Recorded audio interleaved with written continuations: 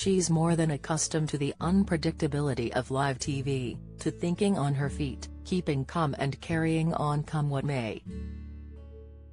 But today, for the first time, Holly Willoughby was visibly nervous. This morning started with some hastily cobbled together new opening credits, huge on-screen graphics detailing the topics that would be covered, replacing the old cozy shots of Phil and Holly at their chummy best. Wearing white, subliminal message, am whiter than? She bizarrely thanked Josie Gibson for being there, as though she was a mate who'd selflessly rocked up to provide support rather than a professional presenter booked and being handsomely paid to do a job.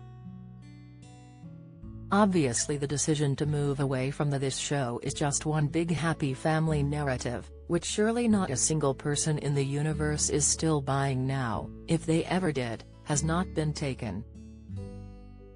Holly began by saying, Right, deep breath. First of all are you okay? Slightly patronizing, disingenuous start. Particularly as she didn't wait for an answer, and couldn't have heard what it was anyway. Holly continued, I hope so. It feels very strange indeed to be sitting here without Phil. What? You don't say Voldemort's name out loud. Luckily she stopped at once, because as everyone knows, if you utter it three times he appears and grabs your wand, and that's what got them into this mess in the first place. I imagine that you might have been feeling a lot like I have, Holly went on. Unfortunately photos of her on a beach enjoying a luxurious half-term break at her Portuguese holiday home appeared over the weekend, during this cost of living crisis so, er, not exactly, Holly, no. Shaken, troubled, let down, worried for the well-being of people on all sides of what's been going on and full of questions, she clarified. You, me and all of us at this morning gave our love and support to someone who was not telling the truth, who acted in a way that they themselves felt that they had to resign from ITV and step down from a career that they loved. That is a lot to process. And it's equally hard to see the toll that it's taken on their own mental health.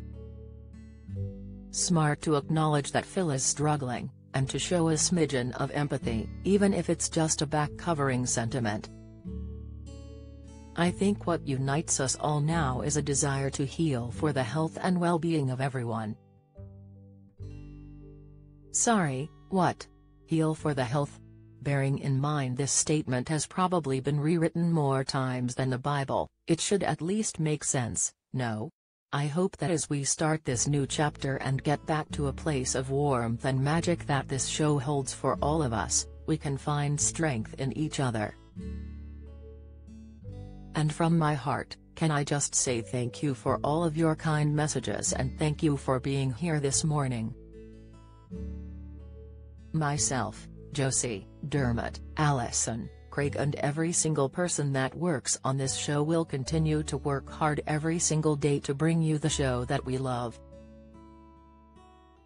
Josie then gave her an utterly spontaneous hug, and it was back to business as normal. The whole thing was over in a minute and a half. Holly was basically damned if she did and damned if she didn't hear. If she hadn't acknowledged Scofgate, it would have been extremely odd, an elephant in the room that might have crushed the show once and for all. But doing so, knowing even more eyes than normal would be on her, and having to come up with the exact right words, delivered in the exact right way, was a lot of pressure.